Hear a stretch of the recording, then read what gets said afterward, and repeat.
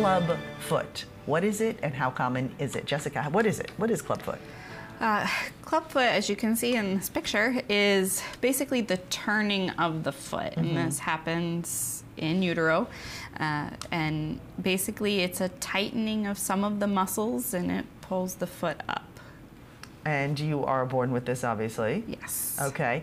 Um, and does it affect one foot or both feet usually? How, how does it work? About half of the time, it would affect both feet. So half the time it's one, half the time it's both. Okay, so let's take a look at some of the risk factors of this deformity.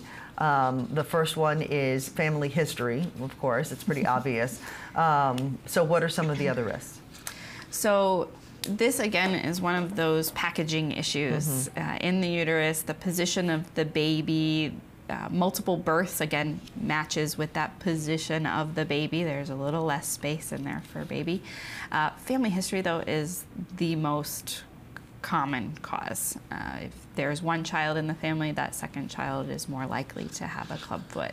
Oh. Uh, the uh, that less amniotic fluid surrounding the baby, that again is a packaging issue. If there's less fluid, it's a little tighter.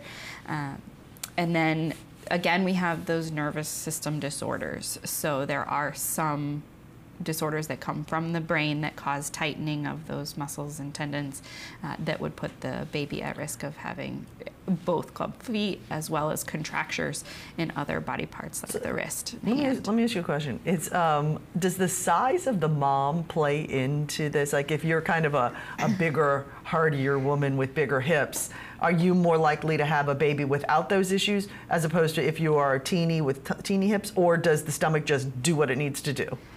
For the most part, Mother Nature takes care okay. of that. And okay. There, I don't know of any studies that have shown anything about okay. mom's habitus. Okay.